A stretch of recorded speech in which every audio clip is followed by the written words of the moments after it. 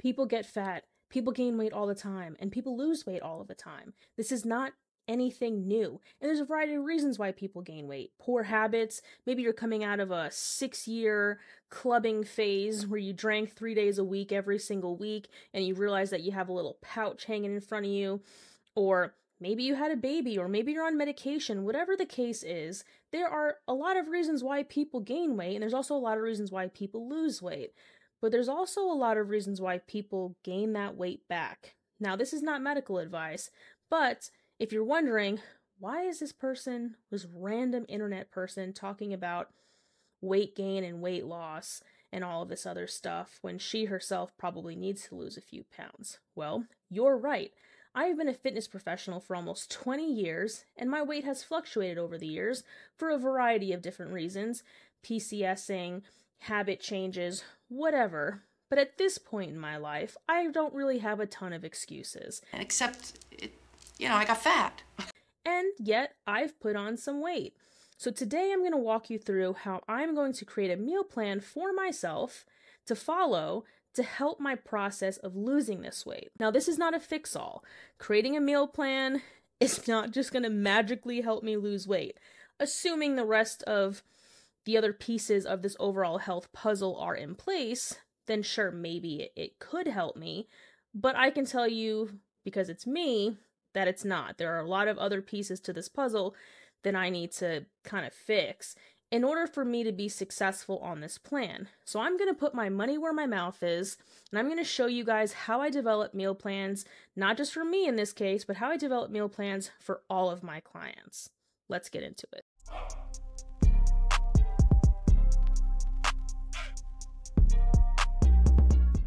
First, let's talk about who develops meal plans, right?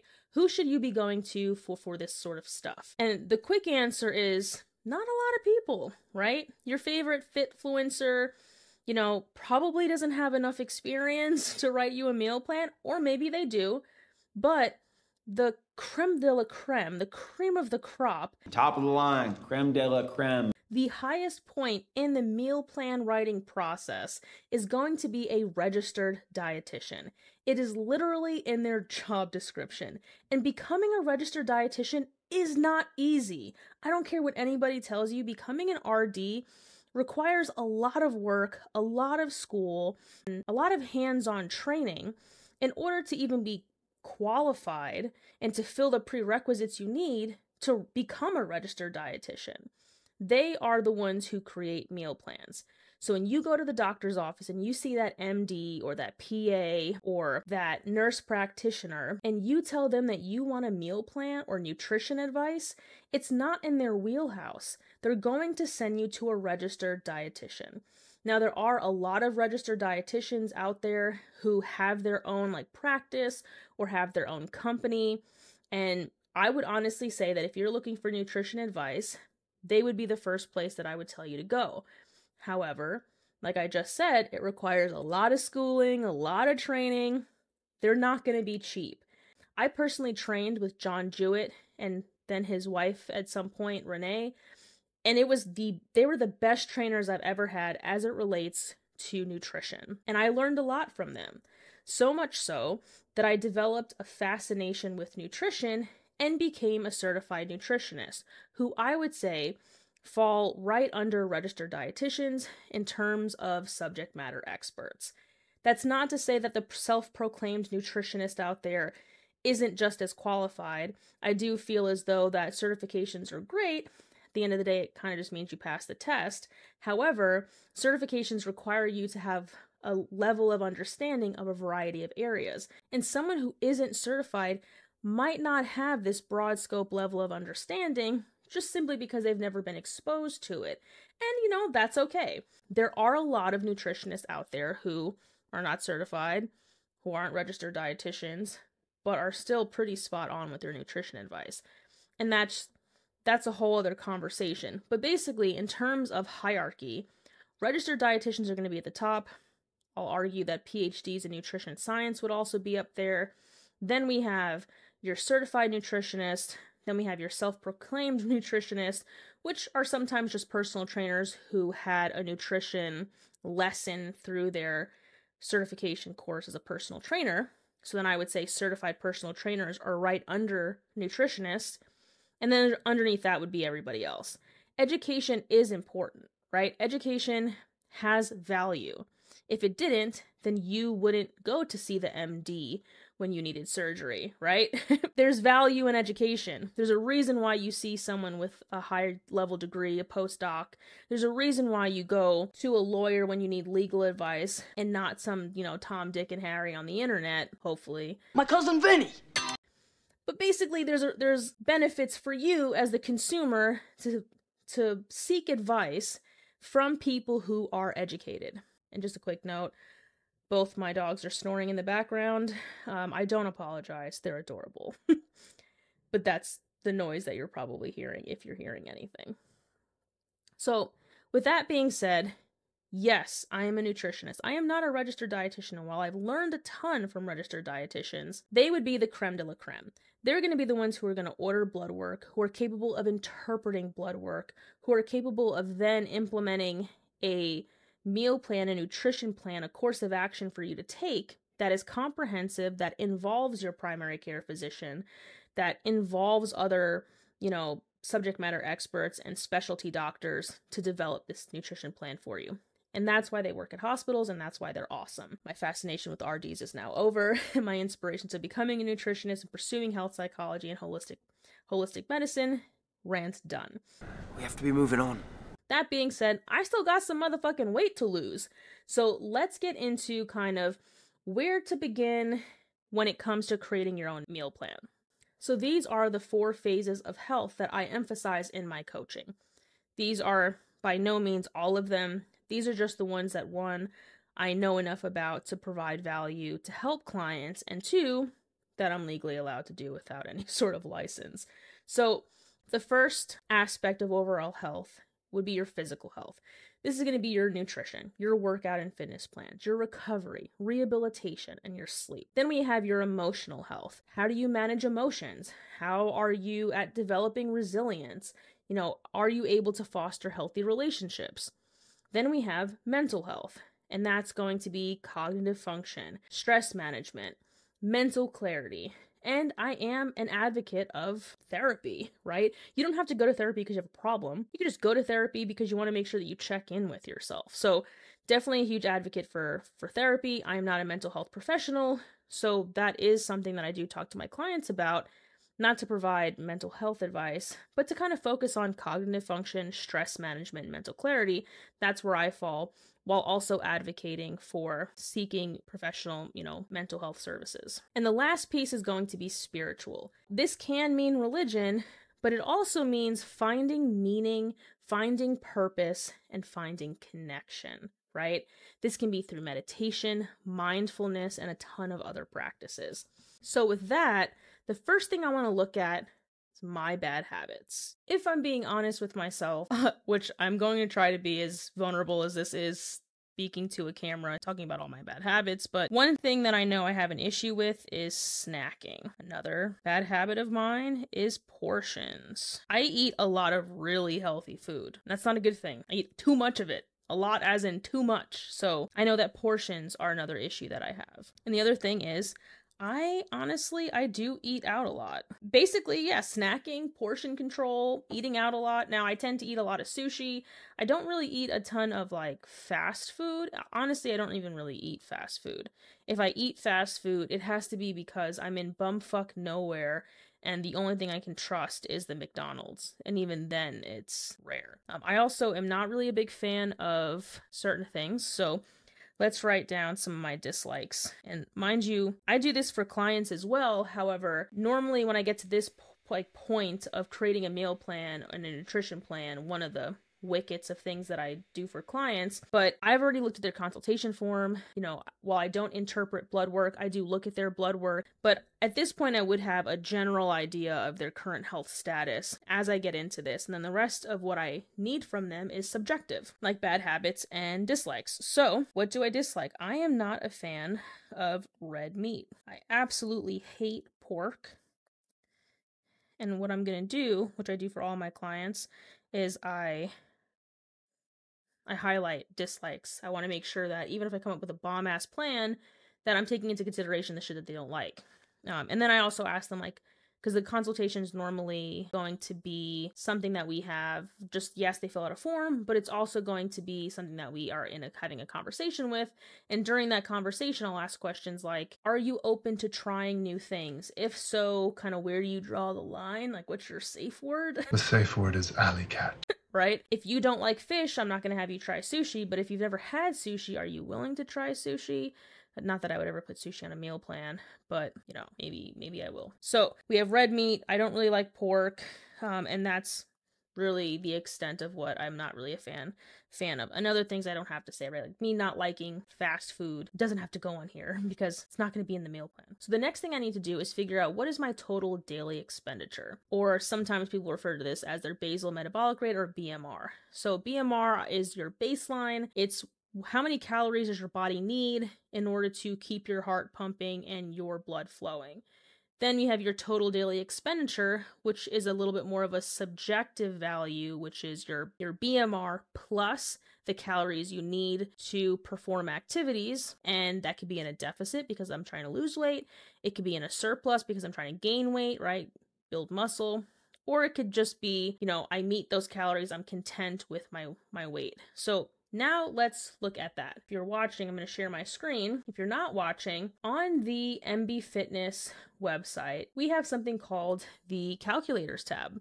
And in that calculators tab, you'll see a BMR option. You'll go to BMR, you'll click calculate your BMR. It'll take you to the bottom of the screen. And this is where you're going to enter your weight, your height, how old you are, your sex, and then your activity level. So, my weight is what my goal weight is going to be. And my goal weight, I would like to lose 20 pounds. So, I'm going to put my goal weight, not my current weight, because I'm not trying to figure out how many calories I need to stay here. I'm trying to figure out how many calories I need to lose weight. So, my goal weight is 165. And that might seem like a lot for you guys. Um, if you know how tall I am, I'm 5'3, but I'm pretty muscular and 165 has always been pretty legit. I've been pretty low body fat at 165 if I do all of the other pieces of this overall health plan correctly outside of the meal plan, like the training plan and stuff like that. So I am 63 inches. I am 34 years old. I am a female. Now, my activity level if I was making this for a client who is sedentary and I want them to start working out, I'm not going to assume that they're going to work out six to seven days per week. Which is why the beginning part of training with me, when we're in the phase one of my training process, which all my clients go through regardless of your goal, which is figuring you out, right? There's more to it, but as it relates to a meal plan, I need to figure you out. I need to figure out, like, if you're sedentary are you able to work out one to three times per week? If you're already working out one to three times per week, can we kick it up a notch, right? Can we consistently work out at least three times a week? So for me, I am lightly active right now. And I know for me, at this moment in time, it's going to be a little bit more difficult for me to exercise more. But I want to be at that three times per week. So now, granted, this meal plan that I'm making, these calories that I'm determining, are going to change in a couple of weeks. Because once I've established good habits and I've established, you know, a majority compliance, I would say like 60% or more compliant with my meal plan, I'm 60% or more compliant with with everything else, all of the other kind of categories of overall health that we talked about. Then I'm going to kick this up to up a notch and I'm, you know, things will change from there. But for now, this is telling me that my total daily expenditure at 165 pounds is 2,075.08. We won't even include that calories that I need per day. Now I'm just going to show you at 185, everything else stays the same. My height, my age, I'm still a female, I'm still lightly active. At, at 185 pounds, I would need to consume 2,195 calories. So this is putting me about 100 calories, it's about a 100 calorie deficit that I need to be in over a long period of time. And my maintenance calories would be about the same, or my total daily expenditure. That's cool. I would say take this with a grain of salt, and this is kind of part of the pre phase one where I get an idea for myself and for clients if this is too many calories. Is this too much for you to eat? Are you is this not enough for you to eat? You know, this is kind of where we get to play with this, but this is a good starting point, especially if you yourself have never done this before. This will at least kind of get you started. And then honestly, if it's too much or if you're just not having any success, then sure, reach out to a trainer. Now I'm going to go to macros, which is another calculator on the MB Fitness website. And I'm going to go to calculate your macros. Now, on each of these calculator pages, I talk to you about kind of what it means. What are macronutrients? I talk to you about what are what is a BMR, stuff like that. So I want to figure out what my macros are. Now, I have a standard calculator in here, and this is what is recommended by most three letter agencies, which is 35% protein, 40% carbs, 25% fat, essentially as your macro split. I prefer a little bit higher protein. So down on the bottom of the page is another macro calculator where you decide the percentages. Now, if I plug this into the recommended values or recommended macro split, we have 2075 calories in here. This is a little bit better. And honestly, the reason for me showing you this is because I would use this calculator first. I would use the recommended split first. And I only say that because unless you know how to manipulate the values, and unless you can sit here and realize that, wow, 233 grams of protein is a lot of protein. Like, that's like a hundred pieces of grilled chicken. That's an exaggeration. It's like 10 pieces of grilled chicken.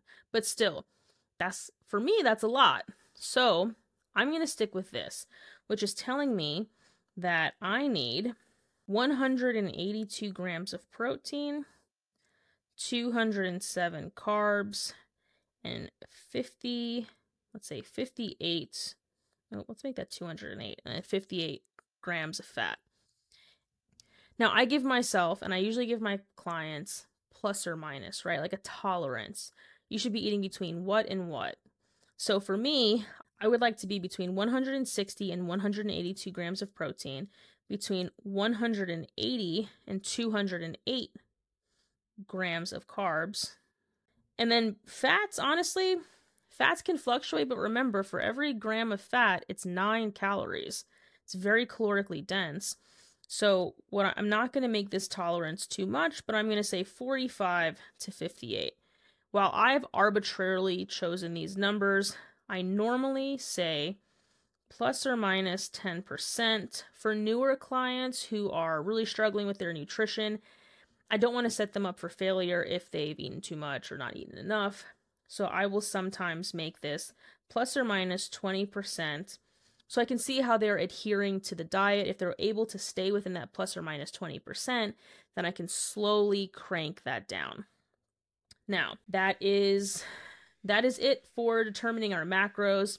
Again, keep in mind you can't believe everything you read on the internet. I've chosen these these values. That doesn't mean you have to, right? I, I think for me that this is going to work really well because I'm used to eating between that amount of protein. I'm used to eating that when I'm actually eating right. So now let's continue. The next thing I want to look at is what is in your fridge. For me, I happen to have a lot of really good stuff, but I'm not a wasteful person. And I know that every single personal trainer out there is going to just log off right now. But I don't really believe in just throwing stuff away, but I I don't believe in overeating. So, in terms of like trying to get rid of food, oh, I need to get rid of this bag of chips because I'm starting a diet plan. I'm going to eat the whole thing now. Like, I don't want to do that either. So, what I want to find out from clients is what's in your fridge? What's in your fridge that's probably not the healthiest thing? And I'm going to be completely honest with you guys. Now, now when I say fridge, I'm going to say fridge slash cabinet. But I have trail mix.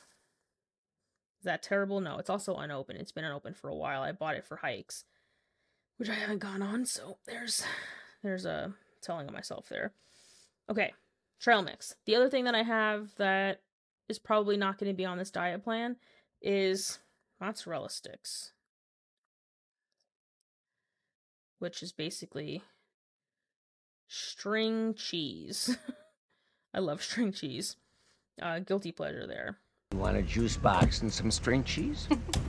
Some other things that I have in my cabinet are I have a ton of like healthy snacks. I normally take these things, you know, to go on a hike, but you know, you go to Costco and you buy a thousand pack of fruit rolls. Like, Why did we go to Costco and buy a year's supply of condoms if you weren't going to use them, man?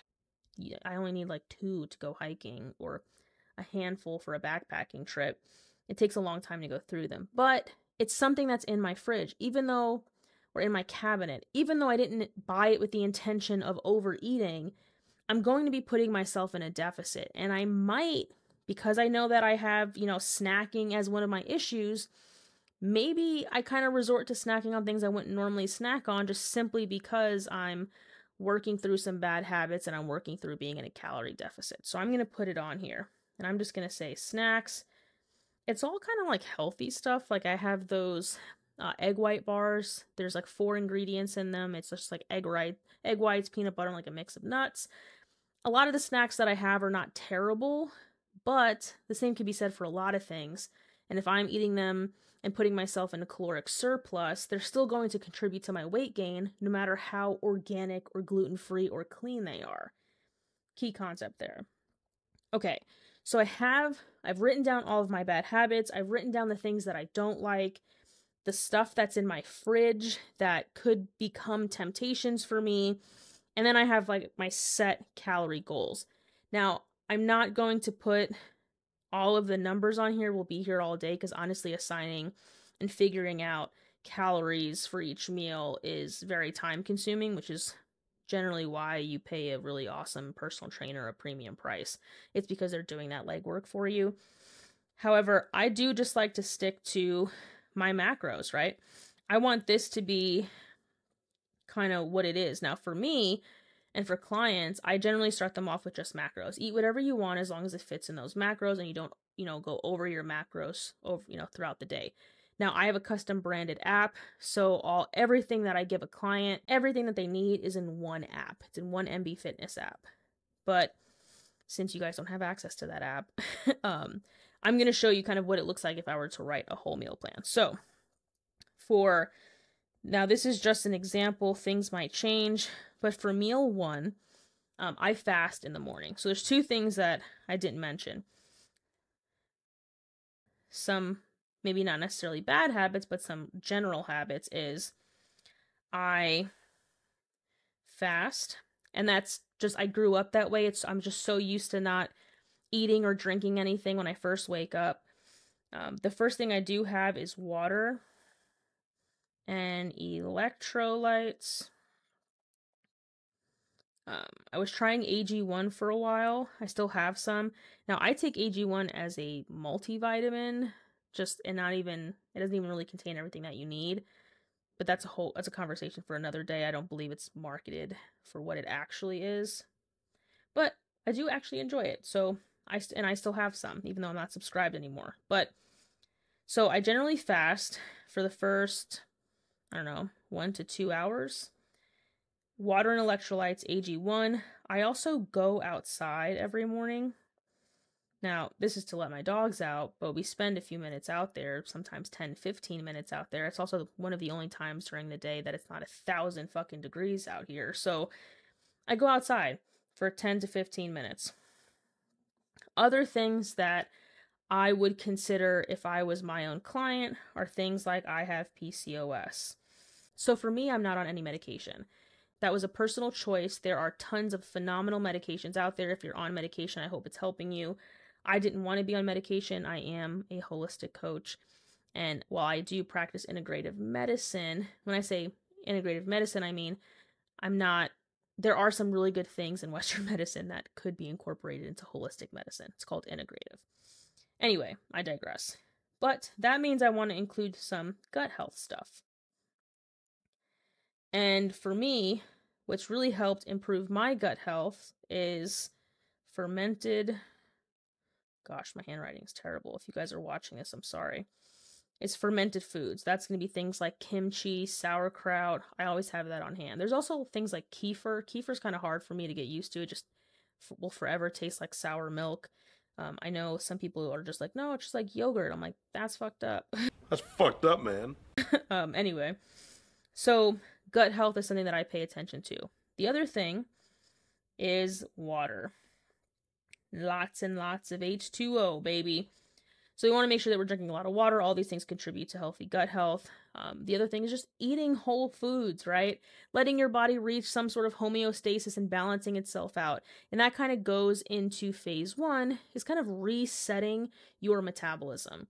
And for me, phase one in the program that I have created that I've been successful with for almost 20 years is phase one is kind of understanding the client, understanding your habits. Also, also for you to develop a little bit of self awareness as to how you got to where you're at. And you maybe you know. And I got fat, like fat, fat. But it's very nuanced. So during phase one, we start to incorporate some better habits. We start to kind of minimize and eventually eliminate any bad habits and kind of incorporate things that we really enjoy. So this plan is enjoyable. Now, the whole goal is so you're not on a diet plan or a meal plan or a fitness plan forever. It's so you can get to your goal and then just live your life. And then from there, that's kind of like our fourth phase, technically, where we have a little bit of a, a lifestyle aspect to our training program. And then you graduate. And then I hope to never see you again, right? I hope that after you you graduate, that the next time I see you, it's not for coaching. It's for you to tell me all of the amazing things that you've accomplished because you're healthy and ha- healthier and happier. Okay, getting back to the meal plan now. So I know that I have to have 2,075 calories. I know that I have to have about 160 to 180 grams of protein, 180 to 200 grams of carbs, and then 45 to about 60 grams of fat. I'm going to write a basic plan, but at the end of this, I'm just going to let you know that there is a lot of tweaking that would need to be done. And I do this for all of my clients. I'll put down a great meal plan, I'll verify that it matches their consultation form, that it matches the notes from our video call or our call, and that I've incorporated, you know, ways to improve the bad habits or eliminate the bad habits. I've made sure that I didn't include any of the dislikes that maybe there are some of the things that are in their fridge and their cabinet, but we're not including them in the meal plan so they consistently go out and buy chips.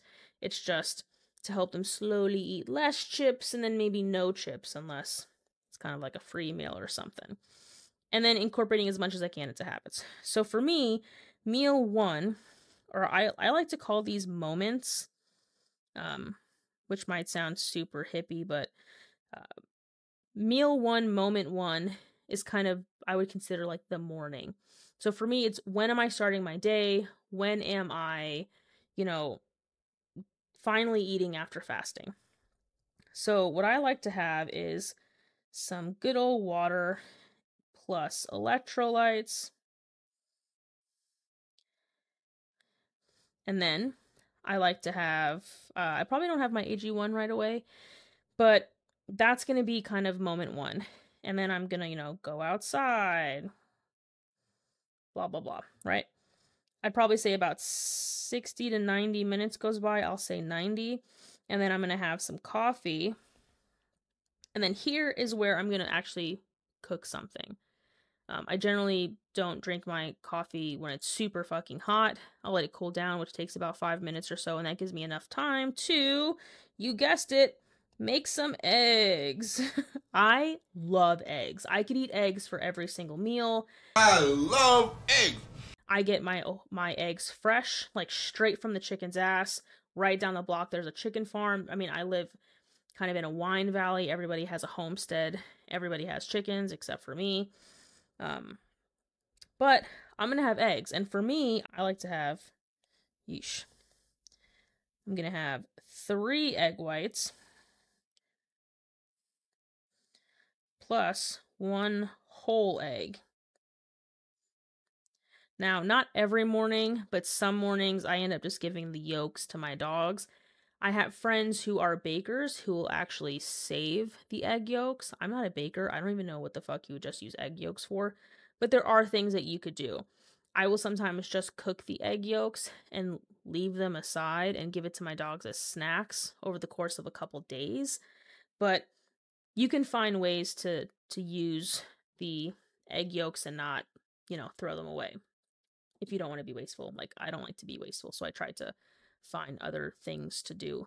Um, if the eggs are extremely fresh, like came straight out of the ass of a fucking chicken that day, I will sometimes give it to my dogs raw, but they're on a raw diet, so that's different. Anyway, so I will have three egg whites, one whole egg. The one thing I also fucking love that's in my cabinet is cream of rice. I don't remember. I was working with a trainer who recommended cream of rice, and that shit changed the game. It's like Farina and grits had a baby. I don't know what it is. In that cream of rice, I will tend to add some honey, not always, berries, and if I can find a fat source. Sometimes this is peanut butter, sometimes it's coconut oil, some not coconut oil, sorry, some sort of coconut. Um, I will add some sort of fat source in there. I try to not use any other sorts of fats like when I'm cooking or in my other meals, um, unless I know that I'm going to eat an avocado and then I won't have the oil, the coconut, or I won't use oil in any other part of the day. So that's basically meal one. Meal two, now granted, I'm writing this because I know myself. I would have to talk to my client about this if I was going off the cuff. Sometimes trainers will go off the cuff and it's just not a good plan. Like this works best for me, but if I were to give this to you, you might be like, I don't fucking know what cream of rice is. I don't want that shit. Or I don't like coconut or I'm allergic to peanut butter. So it's like this plan just out goes out the window, right? Or maybe you don't fast in the morning. So you want to eat something when you first wake up. So this kind of scheduling is not going to work for you. Meal two, I will have a protein source. Now, I know for me that I'm not eating enough protein by any means. I think I'm averaging like 60 to 80 grams of protein a day. That's horrible. So I know that means that I'm going to have to find other protein sources. For me, I prefer lean meat. I don't like red meat, but I prefer lean meat if I'm going to choose a protein source. And I, that's only because plant based protein tends to come with baggage. Sorry, I'm dumping all my baggage on you. And that baggage is in the form of carbohydrates. And instead of eating a bag of lentils, I would prefer to have grilled chicken breast and rice. Just a personal preference, though. So, meal two, I actually, right now in my freezer, I have ground turkey that's just like the 25,000 pack from Costco. Got tons of it at Costco. So I'm going to have ground turkey. This is a 93.7 blend. Could I have gotten a leaner package? Probably, but it's fucking Costco. Costco. right? They don't always have everything that you need. And then you end up buying a 25 pack of ground turkey and you just got to make it work. So we have to make sure that we keep um, we have to make sure that we're keeping track of the fat throughout the plan.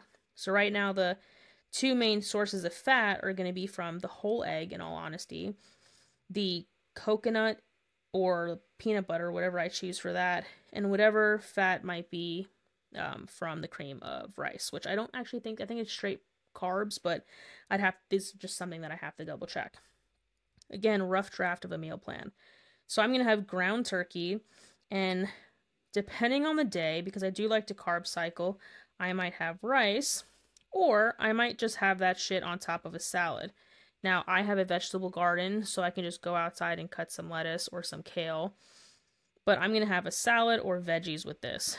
I am up to my fucking ears in squash. If you follow me on Instagram, the squash that come out of my garden, they're normal size squash, but the problem is squash is kind of harvested too soon, which is why when we get it in the supermarkets, it's kind of like this little itty bitty thing. Whereas squash grown in someone's vegetable garden, you can grow that shit till it's 25 inches long and it's just thick. It is just a big ass piece of vegetable. Sure, she's skinny, but she's thick through the trunk. So when I pick one squash, it lasts me all week. Just a long way to say that I'm gonna have vegetables with my turkey. Um, and then I could possibly have, um, with the vegetable, I could have rice or I could not have rice. I tend to only have rice on training days. Again, personal preference. But that's going to be my meal too. Now, I will say that the last major meal I'm going to have is going to be my last meal of the day. And I will rotate meal two and meal three. Meal three is normally going to be another protein. Now, I prefer salmon here. Taking into account how much fat I might have had throughout the day, salmon may or may not be an option. I just fucking love salmon. Or it's going to be some sort of. I prefer ground beef if I'm going to eat any sort of red meat. Uh, so it'll be some sort of ground beef. And to be completely honest, I don't even patty that shit. Burgers are great, but I, I don't even fucking patty that shit. I just make that shit in a pan, ground beef, boom. Meal three, I, again, depends, but I will always have a carb with meal three. And in this case, I'm going to have potatoes because I grew them in my garden. Um, I'll probably just have one whole potato and then veggies again. Okay, those are my three main meals. What I would do now is I would kind of count the calories, count the the macronutrients, and then I would incorporate snacks. So snacks, I'm going to have in between the meals.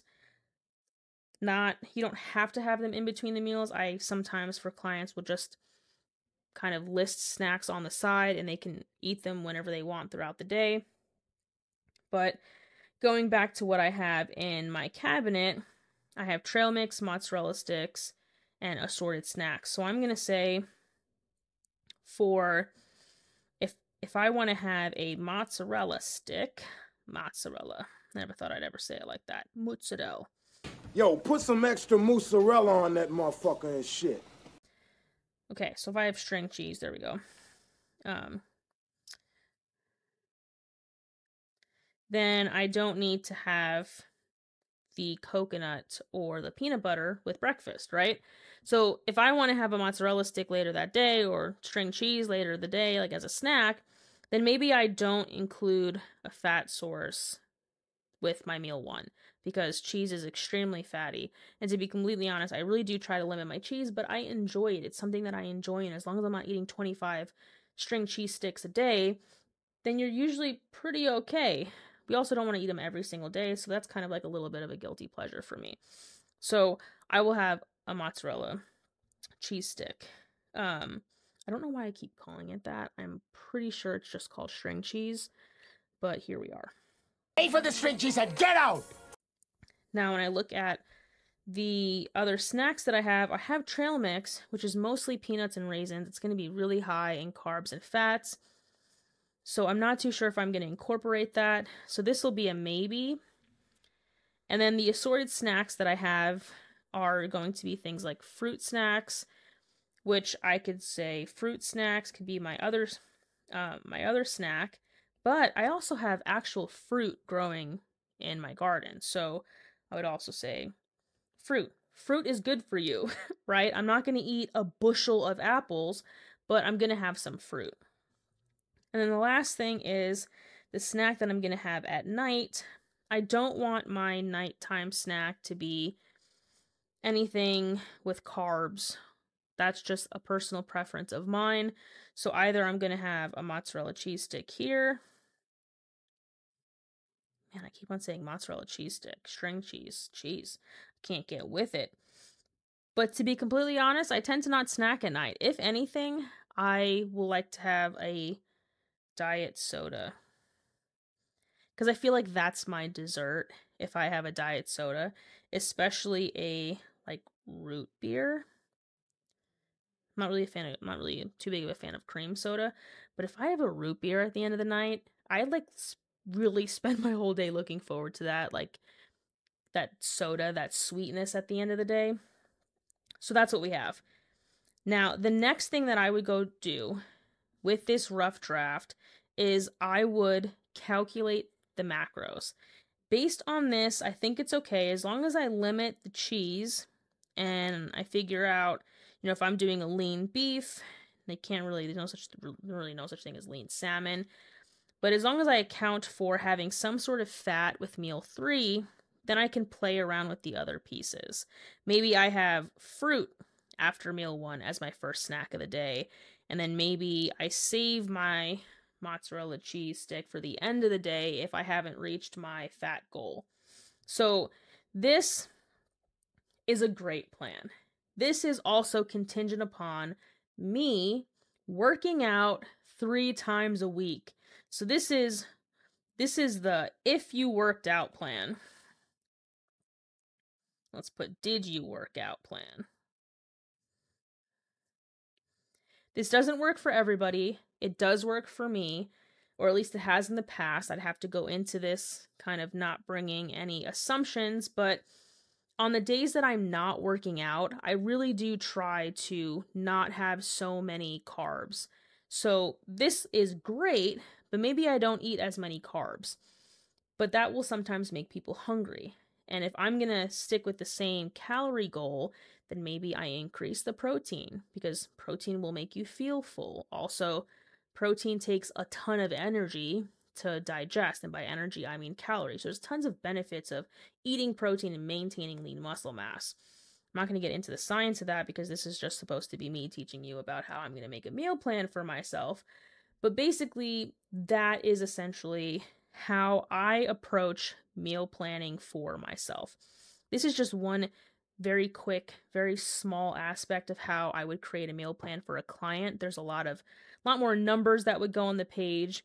There's also a lot more of kind of confirming with their consultation form and with the notes that I took that this is going to work. I I happen to not have a ton of dislikes, right? I'm not really a fan of red meat or pork, but there are clients who I've had clients that don't like a lot of things or are allergic to a lot of things, and that makes creating a meal plan a little bit more difficult. Or they have celiac, so they're they're legitimately gluten free. So it's can I make this meal plan with products that I know are available not just anywhere but in their specific area because I do online training. So if they're in bumfuck nowhere, corner of bumfuck and you got a pretty mouth and there's a town mart that doubles as a hotel, a gas station, and where you bury your mom, like that's that was a terrible example, but you get my point. That's a bad joke. Poorly timed. Like, if it's a one-stop shop town, then or one stoplight town, jeez. But basically, if they don't have gluten-free options, then I need to keep that in mind, right? Can they order on Amazon? Is it you know is it affordable if they get it somewhere else? But these are these are a lot of things that go into creating a meal plan. This is probably one of the simplest meal plans I've made because I know all the answers to my questions, right? Because I'm filling it out for me. I know what my bad habits are. I know what I have in my fridge. So there's so many questions that I'm able to answer like right away that I sometimes don't get the opportunity to have some of my questions answered for clients. So when I give them a meal plan, I'm like, hey, listen, this is the meal plan. Let me know how you feel about X, Y, and Z. Let me know if I need to swap anything out. And I give them time to give it a once over. I make last minute changes, and then they have their meal plan, which doubles as their grocery list.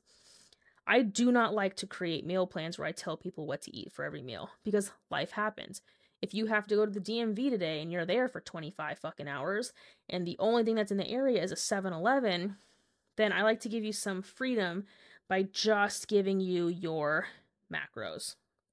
Now, with that being said, I hope this helped you guys. I hope you can try and maybe give your your own meal plan a stab if it's something that you've never done before or if you are looking to maybe lose a little bit of weight or maybe gain a little bit of weight. Maybe you're trying to build some muscle, right? Those are also goals that people have that are I think sometimes people forget that those are goals. I have a lot of clients who are just trying to put on some muscle and that's okay.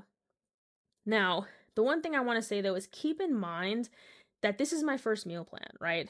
Not ever, but this is the first meal plan to help me get back on track. This is not a forever plan. This is probably going to last a couple of weeks until I go food shopping. And then I'm going to incorporate different foods. I'm going to stick to the same macros, but it's not going to last forever. The other thing is I might I might start working out more. So I don't want a crazy deficit of a thousand calories, although that might be great.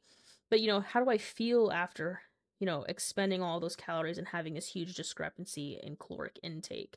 So just something to consider. The other thing is like anything too extreme is going to be difficult to adapt to, right? AKA you're you're going to set yourself up for failure. And if you set yourself up for failure, then you're going to be less likely to follow the plan. Now, choose choose a diet that works for you. As you can see, this is a somewhat balanced diet. I could probably use some more veggies. I'm only getting half the amount of veggies that I should have. But choose a diet that's going to work for you.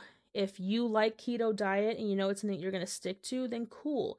Just understand that whatever I call them elimination diets, whatever elimination diet that you choose, it's not forever. None of these diet plans are forever. They're supposed to get you to the point where you've reached your goal. You've lost the weight, you look good in the mirror, you feel healthy, your blood work comes back great, your physician also approves that you're healthy.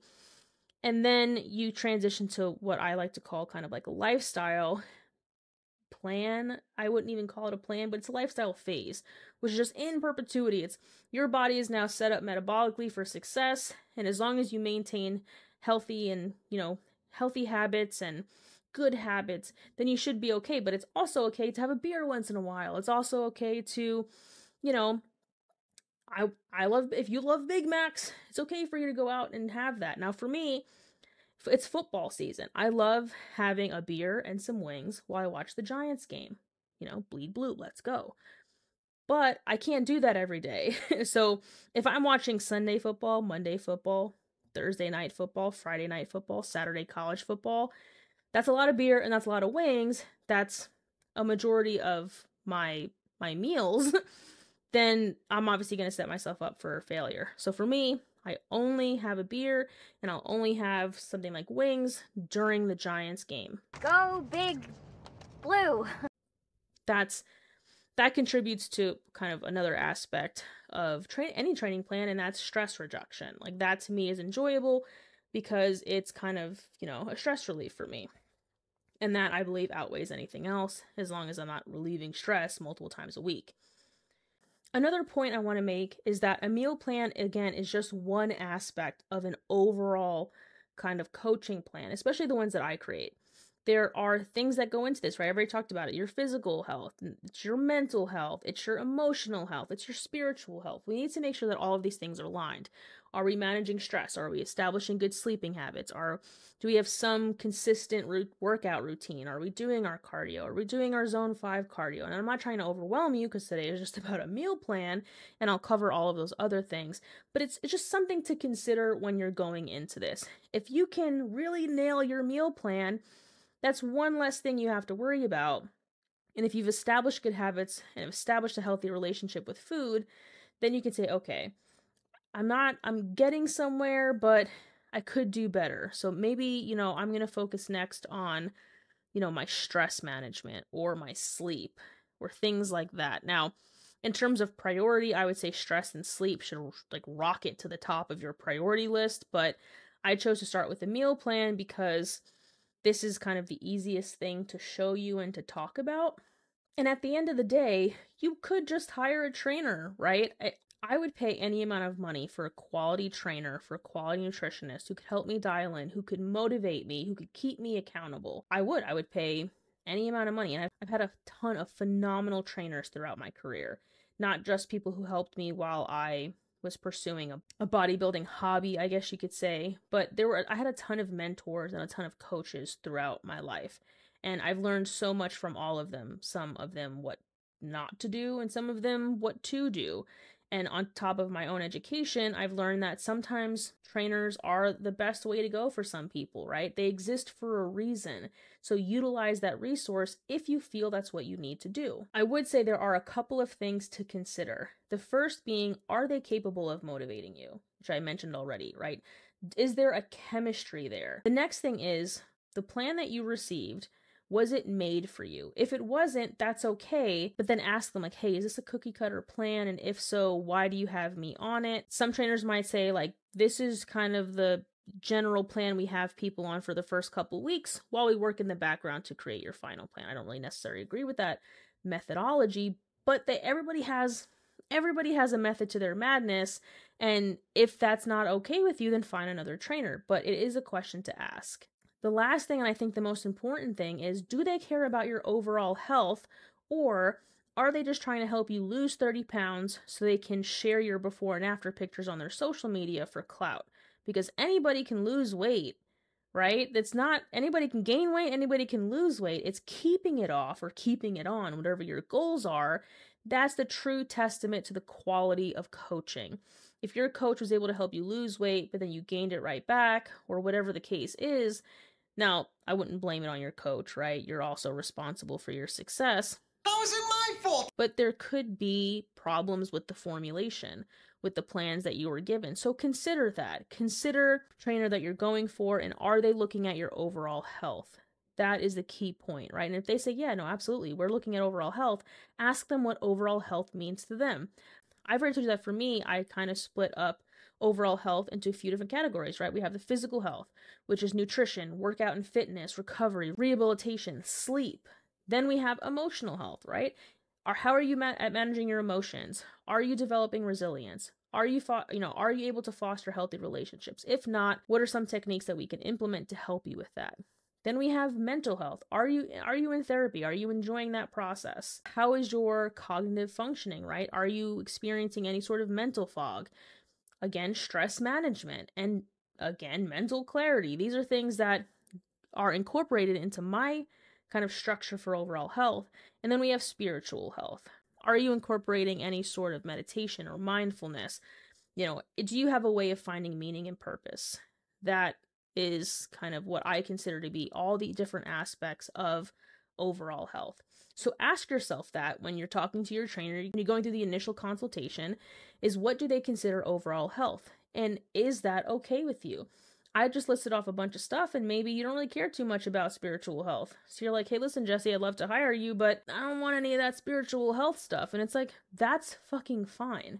But at least you know what I consider to be overall health. There are other trainers out there who have other aspects of overall health that they consider. Like, I know of a trainer who considers functional health its own separate category. Well, I kind of put that in with physical health.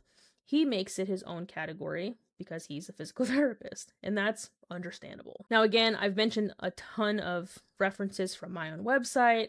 I've mentioned that I'm a coach. I've mentioned that I do all of these things. And while these are all shameless plugs, just know that I offer a ton of free training programs. All you have to do is go into the MB Fitness website and you can start any one of those plans. They're beginner plans, they're there to help you kind of start to establish healthy habits, to kind of lean into working out, especially if you're someone that's kind of maybe been out of the gym for a while. Maybe you don't want to go to the gym, you want to do some workouts at home. There are three plans to choose from. They're kind of tailored to different starting points, but the point is, they're all there to help you start somewhere. And it's for absolutely free. It's just to help you get started, to start to develop these these habits and hopefully those free plans paired with kind of some understanding of how to create a diet plan will help you start to inch your way towards your goal. You can check out the MB Fitness page at mbfitnessusa.com. That's Mike Bravo Fitness USA.com. Or you can just go to jessievirga.com, which is the name of this podcast, and you can go into the fitness tab and it'll take you to MB Fitness. Again, entirely free, just a free resource out there for you. But along with that, if you want access to everything that I did today, copy of the notes, everything that I presented, if you weren't able to watch this, or if you're listening to this and you see me doing a bunch of stuff, if you want any of these videos and any of the resources that I'm talking about, they're all going to be in the description at jessievirga.com. With that, I'll see you guys on the flip side.